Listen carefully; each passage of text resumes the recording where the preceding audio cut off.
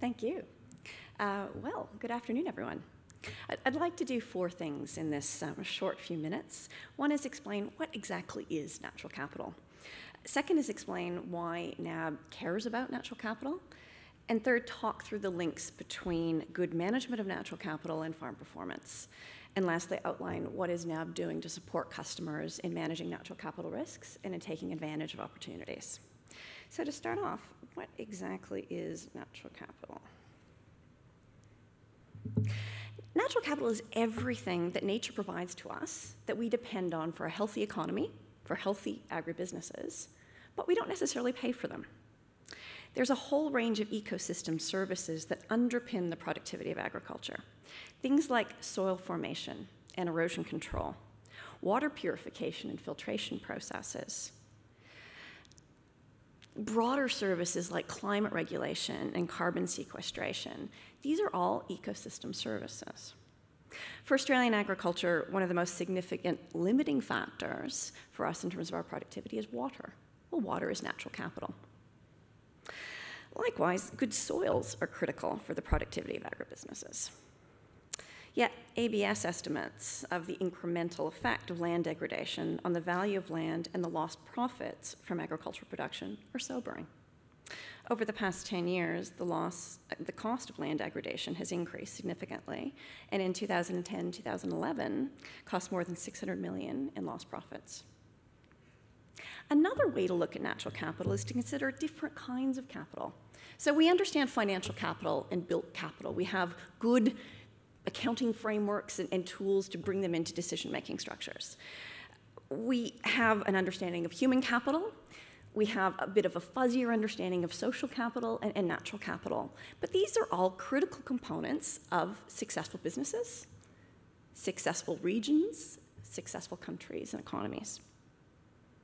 So using the concept of natural capital, we can make visible the economic drivers and benefits of good environmental management. So why does NAB care about natural capital? So NAB is Australia's largest agribusiness bank. We've been around supporting customers for 155 years. And we want to be around to support customers for the next 155 years.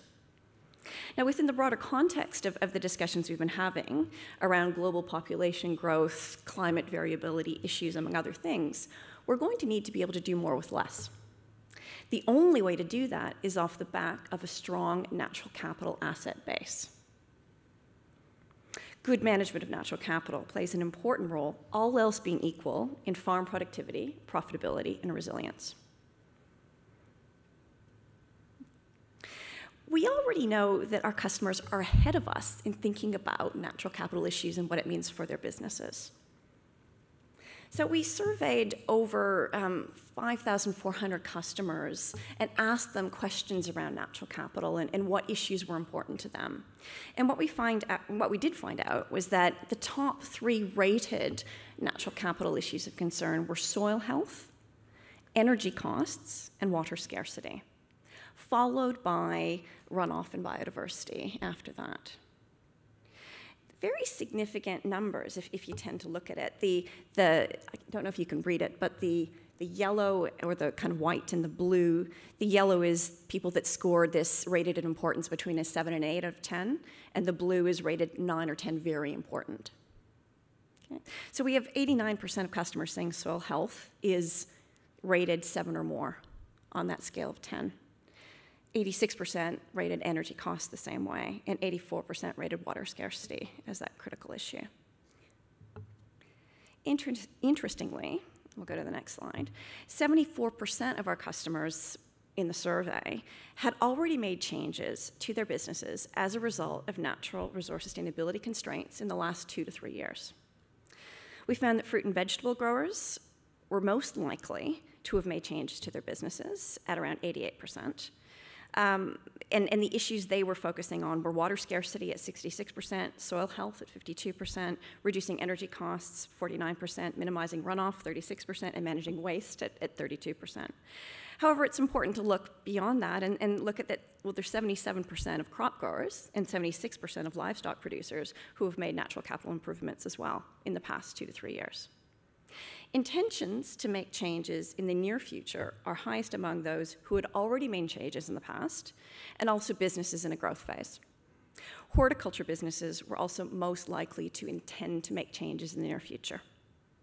So we're listening to our customers and, and, are supporting them in making investments that strengthen their own business models, but also improve their natural capital base. So let's unpack this relationship between good management of natural capital and farm performance. In terms of productivity, I'll just play around with these concepts a little bit.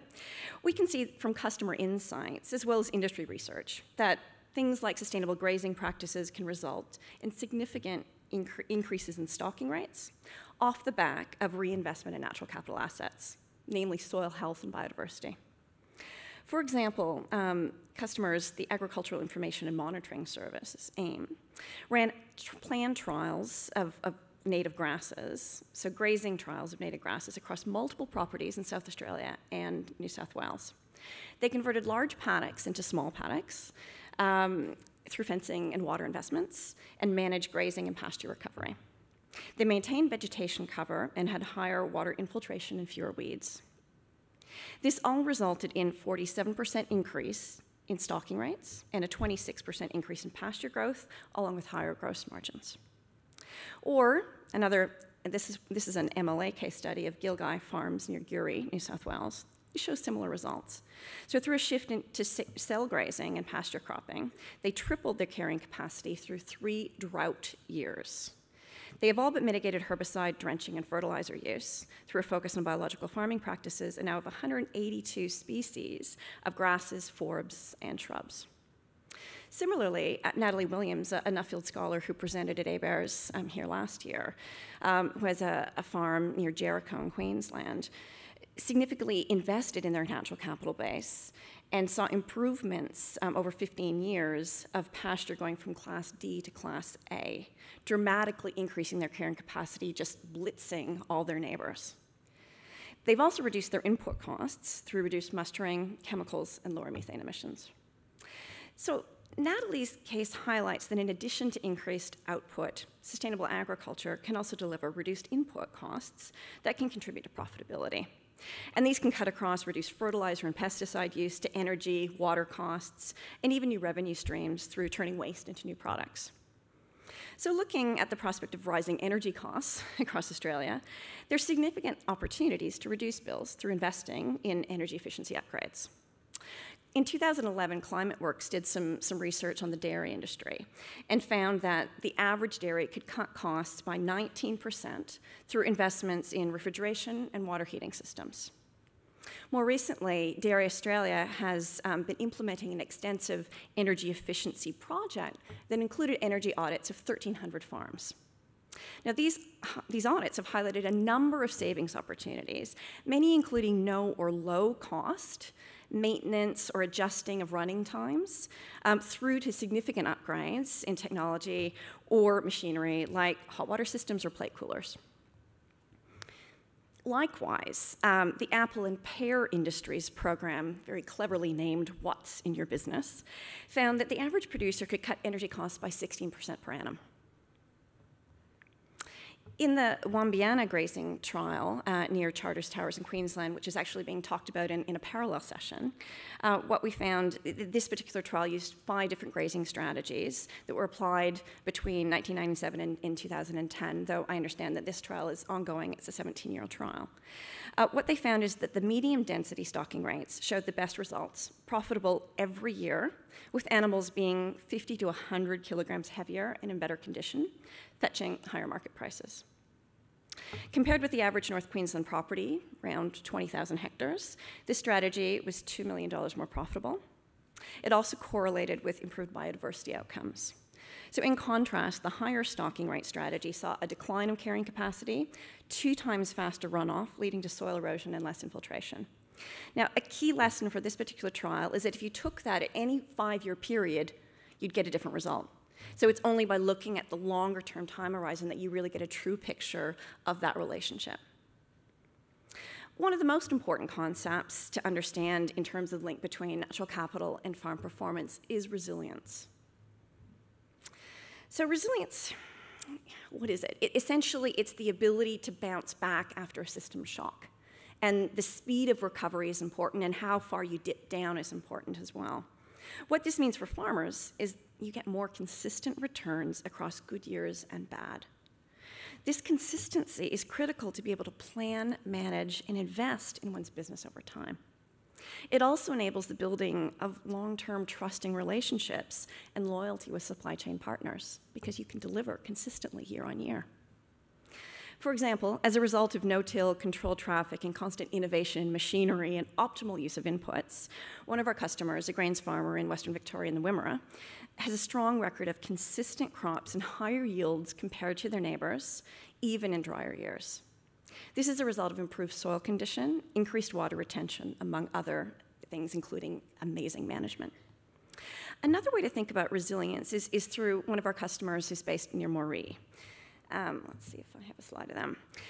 With reduced water allocations and with increased climate variability, Dick Estens wanted to diversify his cotton farming business and looked at the best crop for the region, which would provide the greatest return for the least amount of water as a limiting factor. And for him, that was oranges. So he's now building an export market for orange juice with the aim of establishing a, citrus, a sustainable citrus industry in northwest New South Wales and southern Queensland. In a similar vein, we've seen other customers strengthen their business models while also improving their natural capital base. So, an example of cogeneration Mackay Sugar diversified their, um, their business model through the development of a cogeneration plant using waste bagasse to produce clean energy that cuts their energy bill, reduces their reliance on coal, reduces greenhouse gas emissions, and feeds back into the grid, enough to power a third of the energy to power Mackay. Now, this produces, at, at, the peak of the season, 38 megawatts per day during the crushing season from June to November, and su- surplus requirements of up to 27 megawatts feed back into the grid. A final example cattle farmers Martin Royds and Trish Solomon and their Jillamatong property. So they're also featured, the last three are featured in our agribusiness calendar that I think everybody has a copy of um, for, for this year, which features innovative customers doing fantastic stuff from a natural capital perspective. Um, these guys are also featured in, in um, the Soils for Life case study, so there's a lot of information about them. But they've taken a holistic approach to farm management, using rotational grazing, minimum till, direct sowing, planting trees, and slowing the flow of water on their land. Using a high concentration of native grasses for grazing, while, so that's ensuring that the pasture is highly resistant to drought. They've dramatically increased soil organic carbon levels on their farm, so their average is around 2.4 percent, and that's up from less than 1% 12 years ago. They've increased the number of useful plants from 5 to 80 and dramatically cut input costs. They have no need for herbicides or other inputs because the system is managing itself. As a result, their stock gain condition year round, even through drought years. They're more profitable in terms of output per unit of rainfall compared to the average farmer in the region by significant multiplier. And they've seen productivity increases from 1.73 hectares per cow to 1.13 hectares per cow. So, what is NAB doing to support customers in investing in their natural capital, in managing natural capital risks, and taking advantage of opportunities? So, the first thing is to really understand customer experiences, needs, and expectations supporting customers and exchanging what are best practices, where are the innovation, and, and, and what is our role to really support them in that. Second is building banking capability, banker capability, so that customers should be able to have conversations with their bankers. The banker should know what's happening in the industry around best practices, sustainable sustainability tools, um, new opportunities for, for savings um, that, that generate real returns for their business.